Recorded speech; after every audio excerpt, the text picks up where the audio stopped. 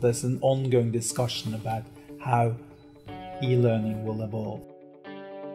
We have many programs online at the moment, but we are intending to expand further. Aberdeen was founded in 1495, so we are therefore a very old university, an ancient university, one of the six ancient universities of the UK. Uh, we are, have therefore a long tradition of uh, courses on campus. We're now developing courses online, which is uh, expanding our uh, students beyond uh, the city limits of Aberdeen. And this is done on an e learning platform, and the tutor will come back to you as soon as possible.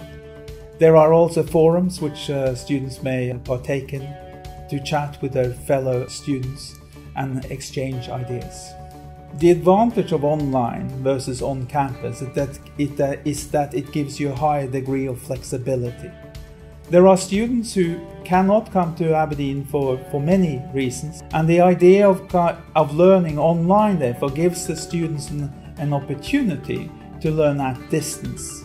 Uh, there is some confusion as to whether or not online or on campus degrees are better. What's important at the University of Aberdeen is that we have something called quality assurance, and quality assurance assures that the quality of the degree is at a given level. Doesn't matter whether or not you do it online or where you do it on campus. The degree you will obtain at the end of the day will have the same quality assurance to make sure that any degree which goes out of the University of Aberdeen is rubber stamped, made sure that we have quality assurance, made sure that there are standards maintained, and that's what we do at University of.